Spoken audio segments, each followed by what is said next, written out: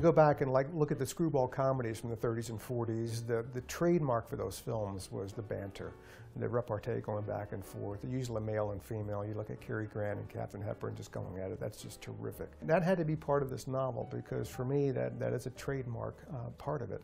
And I don't know, it, it, sort of came naturally for me. I won't say that I didn't go back and massage the dialogue back and forth to get it exactly right. I certainly did that. But the initial drafts of it were pretty close to what the finished product was going to be. And I think I sort of inhabited the characters, and that made it easier for me to sort of sense how people would talk.